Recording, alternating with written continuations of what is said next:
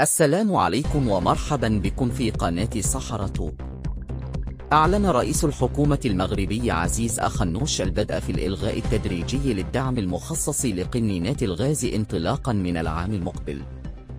وقال أخنوش في عرضه في جلسة عمومية مشتركة حول الدعم الاجتماعي المباشر بمجلسي النواب والمستشارين أن قنينة الغاز التي تباع بأربعين درهما حاليا سعرها الحقيقي يصل إلى مئة ثلاثون درهما يؤدي المواطن منها أربعون درهما والباقي تؤديه للدولة.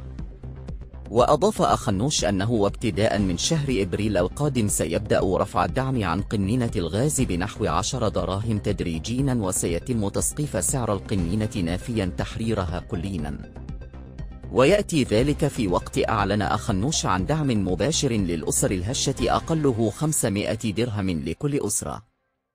لكم تحيات طاقمنا إلى اللقاء.